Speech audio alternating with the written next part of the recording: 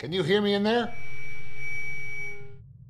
Okay, sharp and to the point. Straight talking science. Three, two, One, one. two, three. No, no, no. I, I got that. Four, five, That's fine. six, seven. No, no, no. I got that. One, two, three, four, five. Who is this guy? Oh, top of his game. Food safety.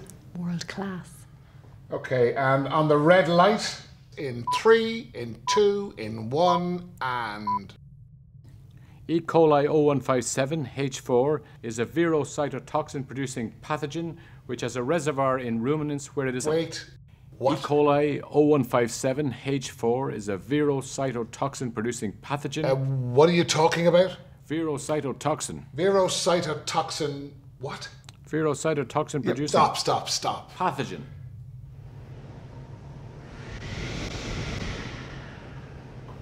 What is he talking about? Well, uh, there are these nasty bugs that live in the guts of cattle, but they don't cause problems for the cattle. Oh. Is everything okay? Oh, no, no, everything is just fine, Professor. Uh, do you want to maybe take a break, get some air? Niamh, go in and try this, please.